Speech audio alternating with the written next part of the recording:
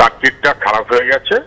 মুখ্যমন্ত্রী যেহেতু একবার বলে দিয়েছেন, এখন পালা করে কখনো মানে কুণাল, কখনো পার্থ, কখনো সেচ মন্ত্রী, কখনো মদন খালি বলে যাচ্ছে। তবু সুজন নামটা বলার মধ্য দিয়ে খানিকটা নিজের আত্মপ্রসাদ লাভ করতে পারছে কিনা আমি জানি না চাইছে কিনা আমি জানি না। দু হাজার নয় দশে নাকি সুপারিশ করা হয়েছিল ওর কাছে। দু হাজার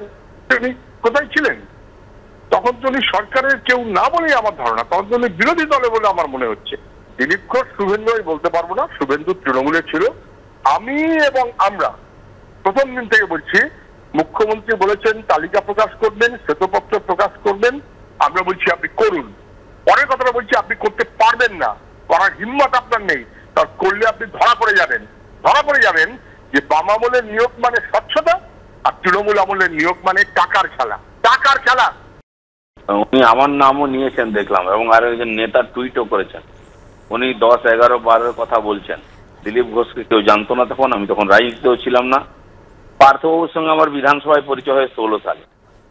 তারপরে যদি উনি কোথাও প্রমাণ করতে পারেন, আমি আমার জন্য আমার পরিচিত বা পার্টির কারোর জন্য কখনো কোনো বলেছি, তাকে সুপারিশ করেছি, তাহলে তার জায়গায় আমি জেলে যাব।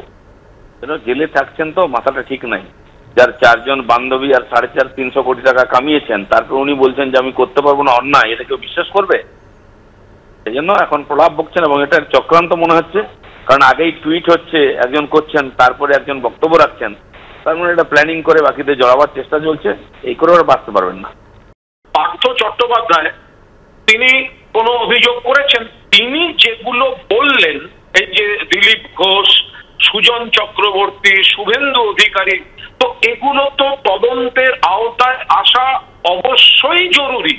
এবং এদের প্রত্যেককে কাস্টাডিতে নিয়ে পার্থবাবুর সঙ্গে মুখোমুখি জেরা করানো দরকার। প্রসন্ন রায়ের বাড়ি থেকে দিলীপ ঘোষের দলিল কেন পাওয়া যায়?